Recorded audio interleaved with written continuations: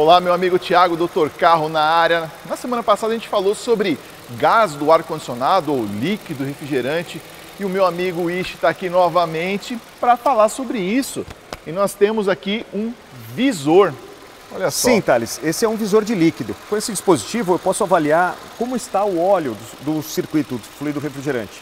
Se, por exemplo, o compressor tiver com desgaste e tiver partículas em suspensão no óleo, quando o óleo e o fluido refrigerante passarem aqui, eu posso observar isso.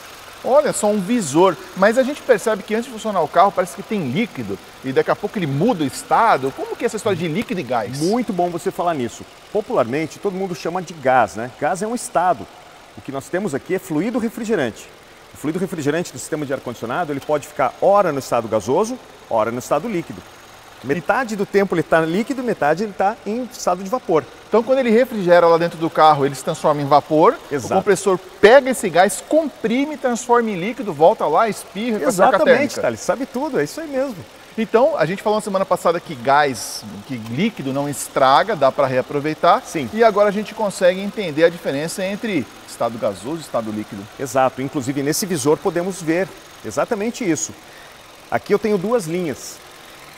Essa mangueira aqui está ligada na linha que sai do condensador. O que é condensador? Condensador condensa. Condensa é transformar vapor em líquido. Então vou ter aqui fluido em estado líquido. Se eu abrir esse registro, observe o que vai acontecer. Vou ter líquido refrigerante passando pelo visor.